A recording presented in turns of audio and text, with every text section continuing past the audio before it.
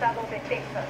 Un tribunal federal falló a favor de las autoridades de Texas y desbloqueó la norma incluida en la ley estatal HB 11 del 2015 que había sido suspendida tras una demanda del Fondo México-Estadounidense para la Defensa Legal que alegaba que las leyes de inmigración son una responsabilidad federal.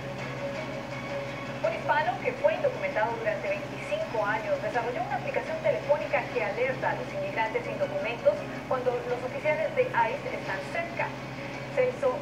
Comenzó a trabajar en esta aplicación que se llama Alerta de Redadas desde la pasada administración y dice que funcionará a través de las redes sociales.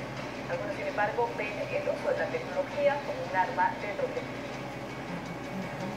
Sí es beneficioso para las personas que pues, están trabajando con esfuerzo, eh, honestamente. Puede ser una trampa porque algunas veces también es con muchas aplicaciones en el teléfono y en internet, formas de poder saber localizar a esta gente. Se espera que la aplicación de alerta de redadas esté disponible en el área de Nueva York en los próximos meses. Este domingo Noticias Telemundo responde a todas tus preguntas en un programa especial llamado Conoce tus derechos.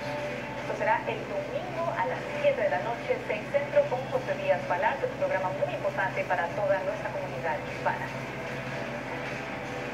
Estas federales contra la marihuana recreacional, de acuerdo al secretario de Defensa de la Casa Blanca, el nuevo gobierno está abierto a su uso médico, pero podría penalizar a los estados que han legalizado además su uso recreativo. En total, ocho estados han ratificado la legalización completa de la marihuana y otros 12 más solo su uso medicinal. Según Sean Spicer, el Departamento de Justicia analiza distintas opciones. Una de ellas, presentar demandas sobre las leyes estatales.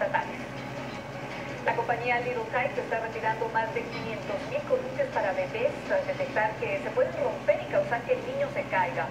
Se trata de los columpios dos en uno de color rosa que fueron vendidos entre el 2009 y el 2014. Little Tights recibió alrededor de 140 reportes de columpios que se rompieron causando heridas a 39 niños. Dos de ellos se fracturaron los bracitos. La compañía pide que no se utilicen estos columpios y que contacten a la empresa para recibir un crédito más información sobre este tema pueden ingresar a nuestra página de internet noticiastelemundo.com. El icónico perro japonés de la raza Akita Inu es considerado el can más popular de las redes sociales. En Japón, un cachorrito de esta raza se vende por 880 dólares. El número de perros de la raza Akita registrados en ese país en los últimos 10 años se ha incrementado 140 veces. Actualmente, hasta el presidente ruso Vladimir Putin es dueño de un Akita Inu.